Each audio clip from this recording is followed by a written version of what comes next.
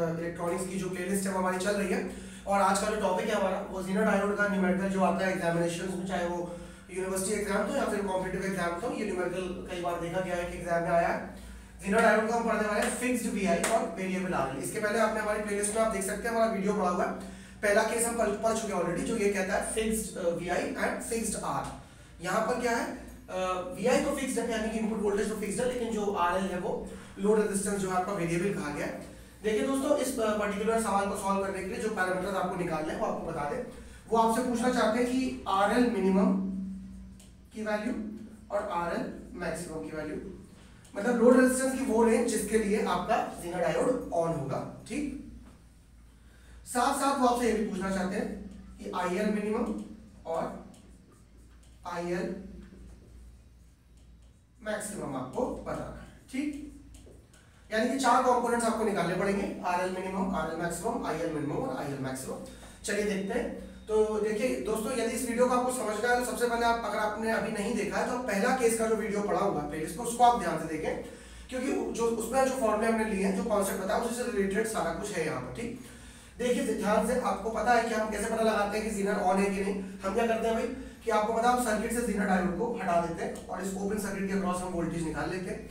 अब इस open circuit के अक्रॉस कितना वोल्टेज होगा? जितना पैरेलल ब्रांच में रेजिस्टेंस पे आउटपुट होगा वोल्टेज होगा, उतना ही वोल्टेज यहाँ पहुंचेगा, ठीक? तो हम एज्यूम करते हैं फॉर एग्जांपल अगर हमने बोला कि भाई अगर इसे हटा दें और इसके अक्रॉस वोल्टेज निकाले तो बताइए वो क्या होगा आपके हिसाब से?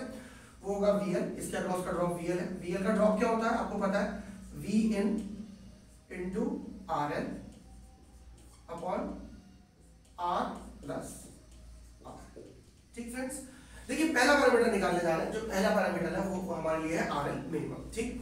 अब आप जानते हैं कि ये जो पोटेंशियल है वीएल जब ये पोटेंशियल आप जानते हैं, जब ये वीएल का जो पोटेंशियल है, और जिसे हम कह रहे हैं वी क्योंकि इसके अक्रॉस जो वोल्टेज है, वो वी है, जब वो वीजेड जब वो वीजेड के बराबर या उससे बड़ा होगा तो जीना डायोड ऑन हो जाएगा अदरवाइज़ जीना डायोड जो है, वो क्या रहेगा? ऑफ़ रहेगा। तो दोस्तों अज्यूम करते हैं कि जीना डायोड ऑन है तो यानी कि अगर ज़ीरो डायोड ऑन है तो bare minimum value zero diode को ऑन करने के लिए जितनी चाहिए, वो कितनी होनी चाहिए? वो होनी चाहिए वी सेट ठीक? और इस पर्टिकुलर मिनिमम वैल्यू पे, जो लोड रेजिस्टेंस की वैल्यू है, वो मिनिमम वैल्यू मान लेते हैं कि वो क्या रहेगी? आर एल मिनिमम तो फ्रेंड्स पहला पैरामीटर हम निकाल रहे हैं। अपॉन आर प्लस आर तो दोस्तों, हमने बोला कि बेयर मिनिमम वैल्यू यानी कि बेयर मिनिमम वोल्टेज हमें वीएल के अक्रॉस चाहिए, वो कितना होना चाहिए? वीजेड होना चाहिए, तभी ज़ीरो डाउन होगा। और देखिए कि बनवाने, जो वोल्टेज डेवलप कर रहा है, उसके सबसे बड़ा हाथ रेजिस्टेंस की वैल्यू का तो वो मिनिमम वैल्यू जिसपे ये VZ हो जाए, वो वैल्यू क्या होगी? आर एल मिनिमम तो वही फंडामेंटल इक्वेशन है दोस्तों, जो केस वन में लगी थी, वही इक्वेशन यहाँ भी लग रही है। लेकिन यहाँ पर हम कैलकुलेट क्या कर रहे हैं? पहले आर एल मिनिमम चलिए। तो आर एल मिनिमम कैलकुलेट करते हैं क्रॉस मल्टीप्लाई कर दीजिए, क्या आएगा? V Z R plus V Z R L minimum equal to V in R L minimum अब दोस्तों, हमें क्या निकालना है? हमें निकालना है आर एल मिनिमम तो आर एल मिनिमम सारा एक जगह इकट्ठा कर देते हैं। तो क्या आएगा? इसको यहाँ ले जा रहे हैं क्या आएगा? आर वी जेड बराबर V in R L minimum minus V Z R L और हमें आर एल मिनिमम ही निकालना है। तो आर एल मिनिमम जो हो गया कितना आया दोस्तों? वो आया हमारा R V Z upon V N minus तो फ्रेंड्स पहला पैरामीटर अगर मैं कहें तो पहला पैरामीटर हमारा आ चुका है।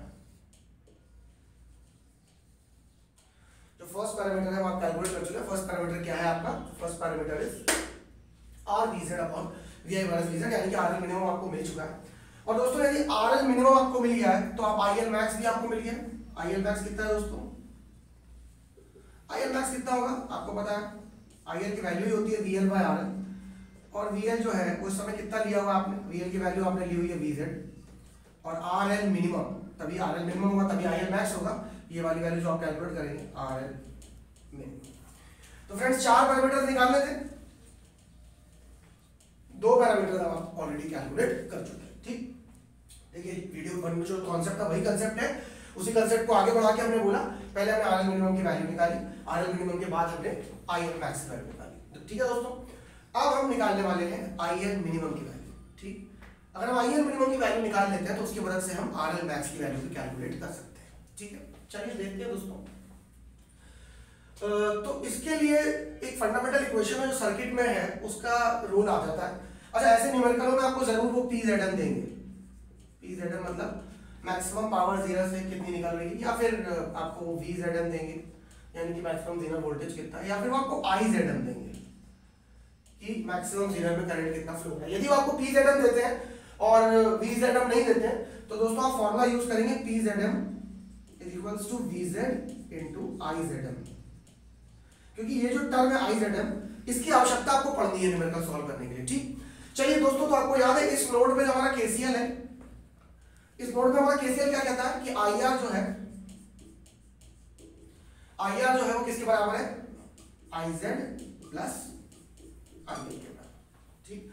और दोस्तों, हमें क्या निकालना है? हमें निकालना है आई एल तो आई एल क्या होगा? I R minus I Z के बराबर। और दोस्तों, आपको आई एल नहीं निकालना, आपको निकालना है आई एल मिनिमम।